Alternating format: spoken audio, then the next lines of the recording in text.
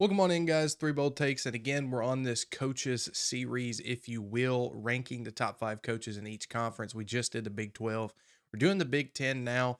Um, and with the addition of some huge programs and names into the Big 10, I think this list is going to be very interesting to see where you guys put these coaches in the new uh, schools, the Oregons, the Washingtons, the USCs of the world um, into the Big Ten. Where do they fit in as far as coaches go? We're going to talk about it, but guys, let us know in the comments if you agree, disagree. Who would you have? Um, are we dumb? Let us know because we like all comments, all criticism. Uh, Quinn, I want to pass it off to you. Who is the number one coach in the Big Ten heading into 2024? Uh, this was pretty easy for me. Um, and I don't really understand how you'd have a hard time picking who number one is. Uh, I went Jim Harbaugh. I mean, three straight Big Ten championships, a national title to his name. That's something that really nobody else in the conference brings to the table. Uh, so it was pretty cut and dry for me. Jim Harbaugh's the number one coach in the Big Ten as of right now. Yeah, unless he gets hired on to an NFL team or something like that. If he sticks for 2024, yeah, cut and dry, like Quinn said, is Jim Harbaugh for me. Yeah, I agree. He's number one for me too, assuming he sticks around. Uh, and if he does not, then uh, we may have to redo this list. Uh, but Chase, right back at you. Number two. All right, this is where it gets fun for me. I'm going to go ahead and pull the Pac 12 in here. I got Oregon and Dan Lanning at two. I think he is going to be structurally a better coach than a lot of these other guys on the list. Um, Lanning has shown that he's an all around coach. He can recruit, he is good on both sides of the ball, offense and defense. Uh, from what we've seen, a sound defense and then a, a, blazing offense. The only problem with him is he has a couple of young coaching mistakes, like we've seen in the Washington games, a couple of miscues from his own personnel that has lost him those games. He's young. He's going to continue growing. I don't even know if he's 40 yet. So as he grows, I think he's easily 2024 and beyond a top two or three coach. And I got him at two for me. Quinn? Yeah, my number two I thought was pretty cut and dry. I guess I was wrong. Uh, it's Ryan Day from Ohio State. Uh, you look around, who beats him? Michigan. That's it. Like what a sin. Like again, now granted, that could get you out of a job real quick in Columbus, Ohio. But if I'm strictly being asked who's the second best coach in the Big Ten, he's made it to the national title game. Uh, he took Georgia to the wire in the 2022 season the same Georgia team that blew the brakes off TCU and blew the brakes off Florida State this year, he lost to them because his kicker missed a field goal. Like that's how close we are to Ohio State being national champions under Ryan Day. Because let's be real, I don't think TCU's winning that national title game, whether they play Ohio State or Georgia. Uh, don't get me wrong, he's got to turn the tide around again on Michigan, but there's no one else in the conference other than you know Jim Harbaugh and Lincoln Riley who add up to the amount of stuff he's actually succeeded in winning. And we can project people if we want to, but as far as projecting Ryan Day and Ohio State, I still project them to be at the very tip top of the conference, and they've just got to get over Michigan. So he's my number two. Yeah, I've got Ryan Day number two as well. I thought it was pretty cut and dry considering uh, you put a guy at number two that uh, hadn't made the playoffs um, as a head coach, um, and Ryan Day has multiple. Um, so uh, yeah, pretty cut and dry there at number two. I thought for me and Quinn Chase, you're uh, no. Uh, anyway, let's uh, let's go to uh, Quinn uh, for number three. so number three, and this is I don't mean any disrespect on Dan Lanning. Dan Lanning is my number three. This is where I'm going to put some projecting into it. I see a strong future for Oregon. Recruiting classes keep going up. I think development's getting better. You look at where Oregon was in their week one game of 2022, getting like skull dragged by Georgia in front of everybody to where they are now. I, I definitely think Oregon's going to put themselves right there in the mix as one of the four best programs in the in the Big Ten for the next handful of years, and a lot of that has to do with Dan Lanning and the structure he has. Uh, I just couldn't put him above the success that we've actually seen inside of the Big Ten from Ryan Day and Harbaugh. But Dan Lanning is my number three, and it's mainly based on projection. All right, we're gonna get a little crazy here, guys. I'm sorry. I just I've got to. For me, my three, I'm going Greg Schiano at Rutgers. Um, Rutgers is another one for me, kind of like Kansas and Vandy. Um, Greg Schiano winning at Rutgers is the equivalent of Lance Leipold at Kansas or James Franklin at Vandy. It is so hard to win at Rutgers, and they have been just the absolute bucket to kick in the Big Ten for so, so, so long. And now he's got them in a spot to not only win games, but compete with Ohio State and Ryan Day, compete with teams like Michigan and Jim Harbaugh. And so, what he's done in the little time that he's been at Rutgers, I think he's going to transcend and also be maybe not. It's I'm not choosing Rutgers because I'm thinking they're going to win a Big Ten championship or they're going to go to the playoffs. I don't think that. But I think what you're doing as Greg Schiano in the Scarlet Knights uniform is mm. so underwhelming or overwhelming my my apologies compared to what Ohio State does with all the players that they get. That Michigan, all the players that they get. You don't get that at Rutgers. And so to do the job you're doing there, it's it's it, it makes me believe in the coaching duties there. I know that was a crazy one. As soon as y'all went Ryan Day at two, I knew this third one was not going to go well. Quinn, uh, I just went at three. Oh my bad, my bad, Fred. Sorry. So you have Schiano. I just want to make sure I, I kind of have this right in my brain. You have Schiano above Ryan Day. You have Schiano above James Franklin. Oh my gosh, yes. You uh, okay? All right. We're just gonna leave that there. We're just gonna let you be there. Um, Ryan Day, if you're watching this, which I know you are, apologies uh, for Chase. Let him be your fuel uh, for next year. Anyways, at number three, uh, Quinn, I think you're cheating off me. I have Dan Lanning at number three as well. Um, this spot was going to be DeBoer uh, before he took the Alabama job, simply because DeBoer beat Lanning twice last year and is undefeated against him. So uh, take that for what it's worth. But I do have Lanning here at number three. I think what what him and Oregon are going to be able to do in the Big Ten is going to be interesting because you know, let's not forget, and you know, Oregon did go to Ohio State a couple years ago and beat them pretty bad at home. Um, so to the physicality of the Pac-12 has definitely risen to the occasion over the past couple of years from what it used to be, where it was just speed and agility and no physicality. That that has changed over the years, um, and Dan Lanning has done that at Oregon tremendously. So I've got him at number three. Um, Chase, let's go back to you for four. Golly, uh, just, all right, wow. all right, all right. It's that time of day.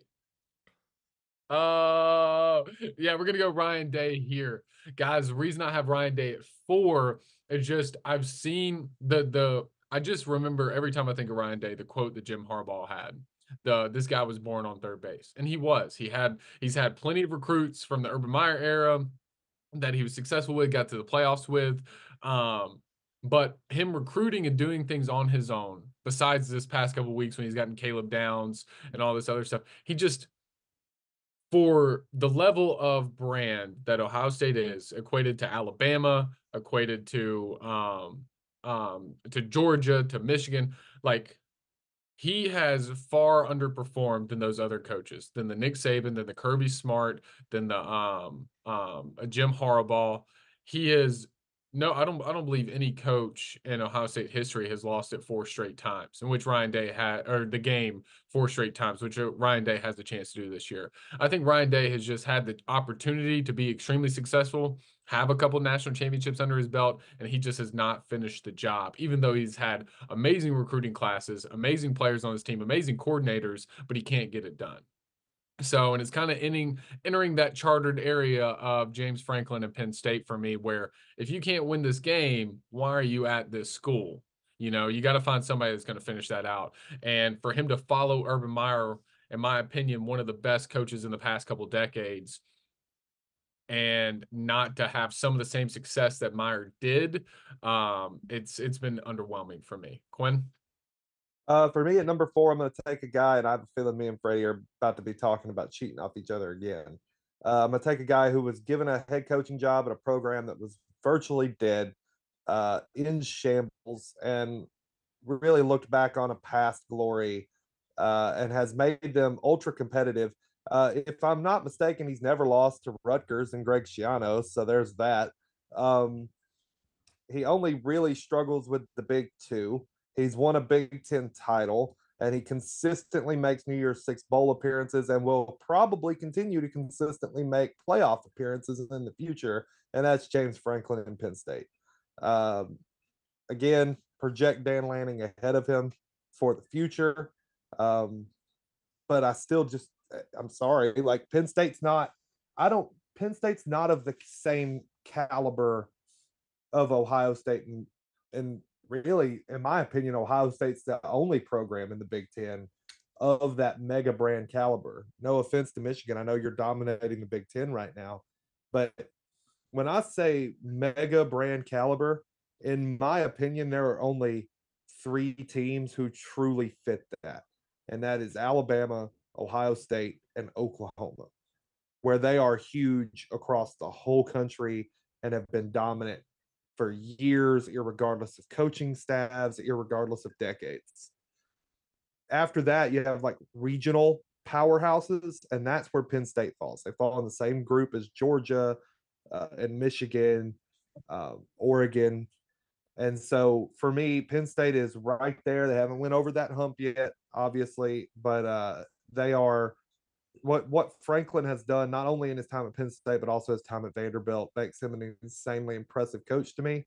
And it's a crime to not have him in your top five. So he's my number four.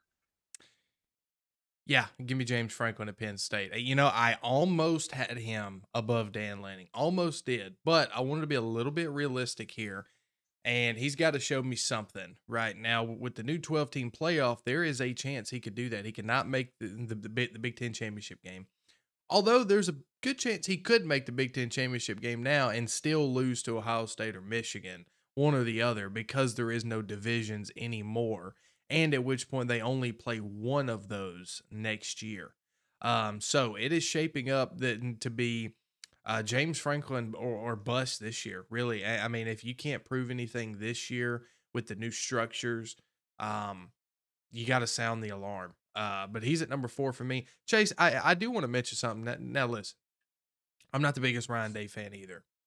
I, I think he was born on third base just like you, but he's only lost three conference games in five years, right? Um, if you want to go, for, he's lost eight total games in five years. And Urban Meyer quit coaching in 2018. So you want to go four years 19, 20, 21, 22. That means 2023 was the first year where he would not have had a single player from Urban Meyer's recruiting class. If you want to go that far, or maybe even in 2022, still the same records 11 and 2, lost one game. Now, you've got to start winning the big games, though. You've got to start winning the bowl games. However, his dominance throughout the regular season cannot be overlooked because of that. Um, and that's why, you know, I think he should be um, up there. Uh, now, number five, I think this is going to be interesting, hopefully, for me and Quinn. Uh, Chase, I hope to God, um, you know, you have uh, some sort of sense to put James Franklin at number five or um, somebody of that caliber. You know what, Chase? Let's just go ahead and get it out of the way. Who you got at five? I do have somebody of that caliber. Um, thinking, looking at names: James Franklin, Lincoln Riley. Nah, not me. I'm going Matt Rhule, Nebraska. This is the Matt Rhule twist season. I think Matt Rhule, he's one of the best turnaround of program coaches that there is. And what he did with Nebraska last year, I think they ended seven and five, if I'm not mistaken, Quinn, which Nebraska so. sh- should not have done at all. And now I'm thinking that they're going to jump probably win at least three more of those games. So they're going to end up, I think they have a 10 win season this year. Matt Rhule is one of the best college coaches at turning around a program. He did it at Temple, he did it at Baylor. Um, I feel like I'm missing somebody. I'm not sure. But I think he's going to do it again at Nebraska. Wasn't a successful uh, professional coach. And the reason I don't have Lincoln Riley here, the reason I don't have James Franklin here is James Franklin, for me, has a standard. Beat one of the two he can't do it and won't ever do it. And we've seen it come and go. I'm I'm not a fan of James Franklin. I'm looking at 2024 and beyond. Who can I believe in that is going to uh, take has a, a, chance to be a top coach in the Big Ten and make his team perform? And I think Matt Rhule is there. Lincoln Riley, I think Lincoln Riley is going to get embarrassed in the Big Ten. Uh, just that's just my my taking because he he couldn't make it in the Pac-12, and then also had some really good offensive talent, and then he can't he can't get a defense together to save his life, and that is going to kill you in the Big Ten. That's just my perspective, and that's why I like Matt Rhule at my five. Quinn. Yeah, see, I'll start with this. Chase, you made the perfect uh, case for why James Franklin should be four, and that is he can't beat one of the big two, but he beats everybody else. So why he's not in the top five, I don't know. Anyway, we'll move on to my number five. Uh, I, you know, at first I thought, do I put Kirk Ferentz here to show him some respect? Like, who else wins ten games while also leading the country in the most punts? Um, that's pretty impressive. But no, I couldn't put Ferentz there. So ultimately, I had to decide and stick with what I do, which is proven success. So I had to go with a guy who's definitely like proven he can get there by taking his team to the college football playoff. Plain and simple. That's why I went Luke Fickell with Wisconsin. Uh, I think the turnaround that we'll see at Wisconsin under Luke Fickell will happen in time. I look, Chase, I get where you're coming from about uh with with Nebraska. I, I just haven't been a believer. Like I know he turned Baylor around, I know he turned Temple around, and maybe I'm just letting my pro football side get the better of me with Matt Rhule and just not trusting in him after what I saw in Carolina. But I just until I see it, I'm not gonna believe it. And I am more I, I believe that you can win easier at Wisconsin than I believe you can win at Nebraska. And that was ultimately, like I said, I really debated four names for this spot, and that was Fickell, uh, Rhule, Riley, and Ferentz. And I settled on Luke Fickell at Wisconsin. When that's embarrassing. Luke Fickell was my number five as well, simply because of the, the success that he had had at Cincinnati, and I cannot wait to see him long term at Wisconsin. Um, wow, you, you know, you, you, know what that that's uh, Chase. I applaud you for being different and and yeah. for going out on a limb, even though it's idiotic and not smart at all. You went out on a limb, and I like it. You had things to back it up, guys. Let us know down below. Are we ridiculous? Is Chase ridiculous? Uh, more than us, yes, uh, more than me and Quinn. Yes, the answer is yes. it's yes. Um, well, let us know down below. at three. but let us know down below, guys, and uh, look out for our other conferences. We're doing the SEC and ACC next. I will see you guys next time. Please subscribe, stick around. Peace out.